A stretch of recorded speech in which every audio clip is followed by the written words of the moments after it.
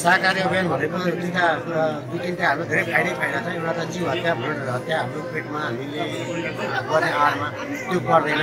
हामी एउटा पापबाट जस्तो हुन्छ नि हामीले यसरी पापबाट मुक्ति पाएका हुन्छौँ भने अर्को त हाम्रो स्वास्थ्यको लागि धेरै फाइदाजनक छ अहिले मासुजन्य पदार्थहरूमा धेरै तपाईँको धेरै डक्टरहरूले पनि धेरै मासुजन्य पदार्थहरू नखानु कतिपय रोगहरूलाई नखानु भन्ने अवस्थामा पनि अहिले यो शाकाहारी अभियानले एकदम राम्रो प्रयास र हामीले खाने कुराहरूमा एकदम आहारमा जुन कुरा विचार गर्छौँ जसले आहार शुद्ध गर्छ त्यसको विचार पनि एकदम शुद्ध हुन्छ भन्ने एउटा वैज्ञानिकले नै पत्ता लगाइसक्यो जसले आहार राम्रो गर्छ।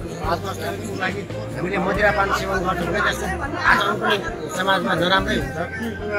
त्यस्तै हिसाबले हामीले शुद्ध आहार गरौँ। यस्तो यस्तो अब मान्छेहरूको तपाईँको आहारले अब जस्तो ठुलो मदिरापान गर्ने मान्छे या तपाईँको चाहिँ मांसाहार मान्छेहरूले उनीहरूको विचारहरूमा अलिकति केही न केही हामीले भिन्नता पाउँछौँ। र शाकाहारीमा शाकाहारी बन्नमा फाइदा के छ भने हामीले अहिले एउटा त जस्तो पनि तपाईँको मूल्य हिसाबले पनि राम्रो छ र स्वास्थ्यको लागि एकदम राम्रो एकदम स्वास्थ्यको लागि पनि राम्रो छ। अब धर्मशास्त्रले पनि तपाईँको चाहिँ यो शाकाहारी चाहिँ धर्मशास्त्रले पनि एउटा चाहिँ शाकाहारीलाई राम्रो एउटा